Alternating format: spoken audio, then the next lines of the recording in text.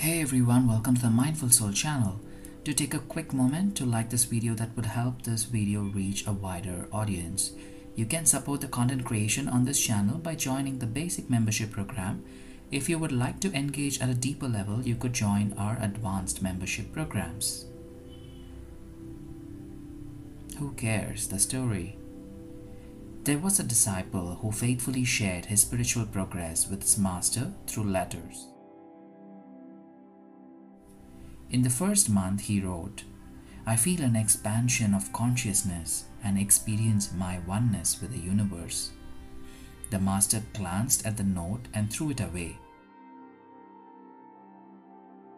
The following month, this is what he had to say I have finally discovered that the divine is present in all things.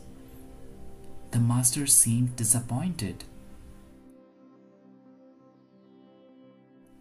The third month, the disciples' words enthusiastically exclaimed, The mystery of the one and the many have been revealed to my wondering gaze. The master shook his head and again threw the letter away.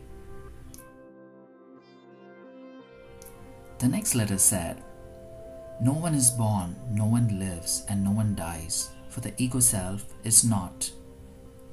The master threw his hands up in utter despair. After that, a month passed by, then two, then five months, and finally a whole year without another letter. The master thought it was time to remind his disciple of his duty to keep him informed of his spiritual progress. Then the disciple wrote back, Who cares? When the master read those words, a look of great satisfaction spread over his face. What is your interpretation of the story? Share in the comments.